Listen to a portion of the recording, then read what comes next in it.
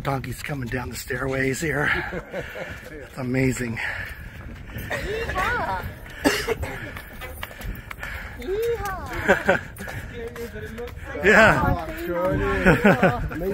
that is some scary ride.